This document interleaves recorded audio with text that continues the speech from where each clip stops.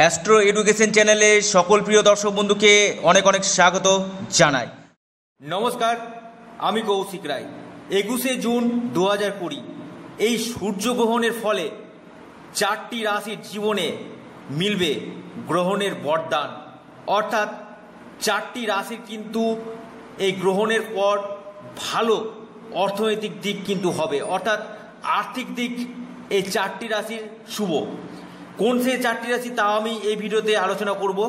এবং তার আগে আমি জানাই যে এই যে একুশে জুন দু হাজার কুড়িতে যে এই সূর্যগ্রহণ খতরনক সূর্যগ্রহণ।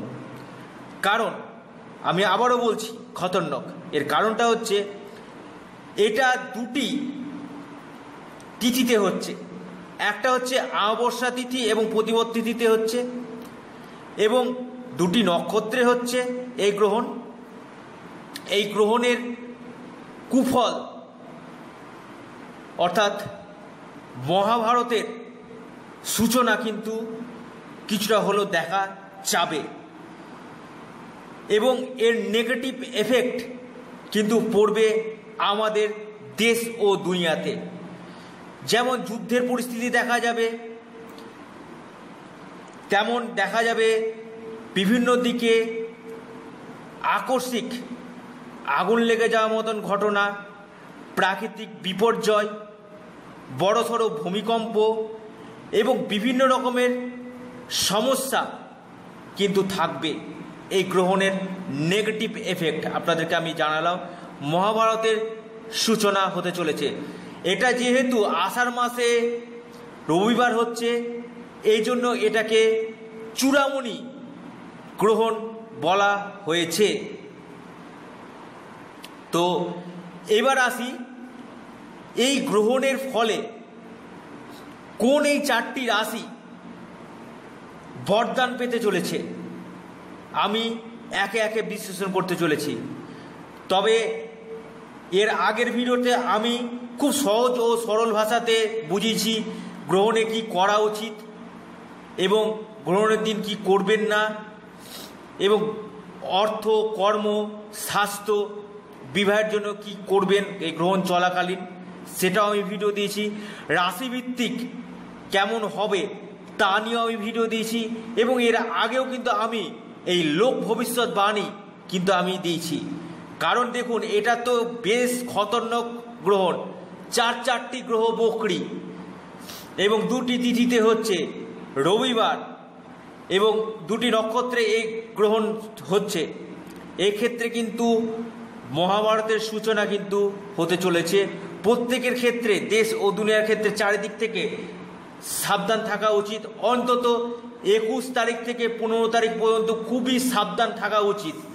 এছাড়াও আপনাদেরকে বলব, এই গ্রহণের প্রভাব মিনিমাম তিন থেকে চার মাস কিন্তু থাকবে। এবং এই পনেরোটা দিন অতি সতর্ক এবং অতি সাবধান থাকা প্রত্যেকেরই উচিত। তো এবার আসি কোন এই চারটি রাশি যেটা পেতে চলেছে গ্রহণের বরদান। প্রথম যে রাশিটির কথা আমি বলব সেটা হচ্ছে মেষ রাশি। মেষ রাশি তৃতীয়ভাবে এ গ্রহণ হচ্ছে। আপনাদের ক্ষেত্রে কিন্তু অর্থনৈতিক দিক কিন্তু আপনাদের ভালো। আমি খুব দায়িত্ব নিয়ে বলছি ভাই বোনদের সঙ্গে হয়তো আপনাদের মতবিরোধ ভাই বোনদের শরীর স্বাস্থ্য নিয়ে হয়তো প্রবলেম আসতে পারে। কিন্তু এই তৃতীয়ভাবে রাহু যথেষ্ট টুঙ্গ এবং বুধের সঙ্গে অবস্থান করছে। সেক্ষেত্রে এখানে কিন্তু শুভ ফল নির্দেশ করবে ঠিক মেষ রাশির জন্য। এবং এটা হচ্ছে বায়ু রাশিতে এই গ্রহণ কিন্তু সংগঠিত হচ্ছে। এটাও মাথায় রাখতে হবে।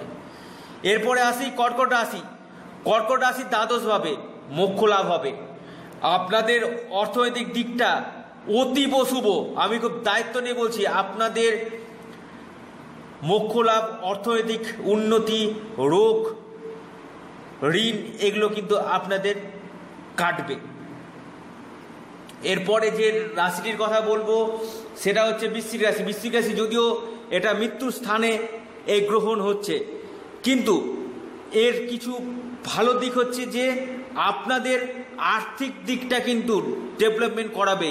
আপনাদের প্রাপ্তি যোগ, আপনাদের বিজনেস ক্ষেত্রে উন্নতি লটারি পাওয়ার যোগ, এগুলো কিন্তু দেখাবে। সেটা কর্কট রাশির ক্ষেত্রেও কিন্তু হবে। এবং বৃশ্চিক রাশির ক্ষেত্রে ধনবর্ষা হতে চলেছে। আমি খুব দায়িত্ব নিয়ে বলছি, এই গ্রহণের সুফল বৃশ্চিক রাশির জাতক বা জাতিকারা পাবে। এইবার সর্বশেষ যে রাশি, সেটা হচ্ছে খুব বিতর্কিত রাশি।